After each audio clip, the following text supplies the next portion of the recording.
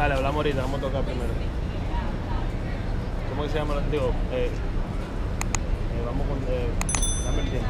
Yes. One, two, one, two, mm, mm. Dum, dum.